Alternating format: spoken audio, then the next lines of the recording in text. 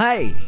I'm Cedric and also known as Raegaz. I'm 27 years old and I'm from Leyte. I graduated as an IT student and my first ever online game that I played was Ragnarok Online way back 2005. And please don't I like to play RPG and MMORPG because you can find a lot of friends online while playing it. What's most exciting in those kind of games are you can play with them finishing those adventure quests. Currently, I'm playing League of Legends Wild Rift. And what makes me play the game?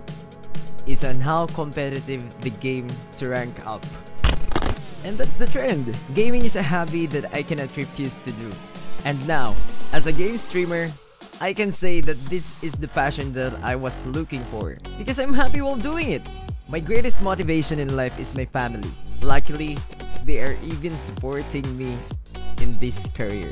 Being part of Alpha makes me feel guided with my streaming career path. As a professional streamer, I want to achieve building a community with a lot of positive attitude, no toxicity, and everyone must feel like we are as one treating each other as a family. To all aspiring streamers, you must be patient on the progress on this career. You need to have perseverance and endure how mentally stressful it is to start from scratch. In this career, I can say that it needs dedication and passion. And one important note, you must be happy of what you are doing, regardless of how many viewers every time you click that live button.